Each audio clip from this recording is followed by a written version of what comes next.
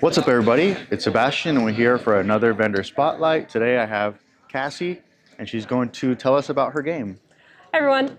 So today I brought with me Son of a Bandit. It is a variation of charades. We do have two versions. We have the family friendly and then we have the adults only. So the goal of the game is to collect the most bandits before time runs out. You don't want these hooligans, they're negative points. so the way it works is the sheriff starts off the game and there's only one sheriff in town. They'll pull a card from the bandit deck and act out the top word on the card. Whoever guesses the word correctly gets to keep the card, so I pass it to them face down. Now, let's say you do get one of these guys, you're gonna wanna get rid of it before time runs out, and the only way to do that is by being the sheriff. So you can yell duel.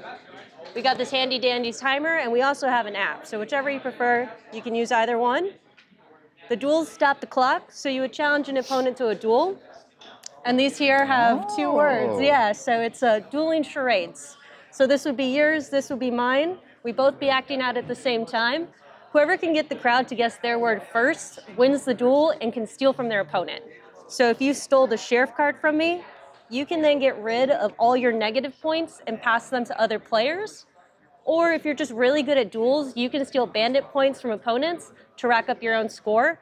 And when the time runs out, whoever has the most points wins.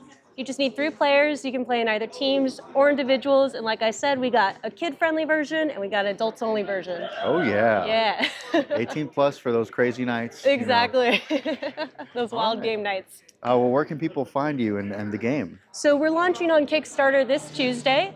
Um, you can visit properplaygames.com or you can check out Proper Play Games Instagram, but either way, that's access to our Kickstarter. Awesome. All right. Well, thank you so much for showing us the game, and I can't wait to see it out in the world. Appreciate it. Thanks for letting us chat about it.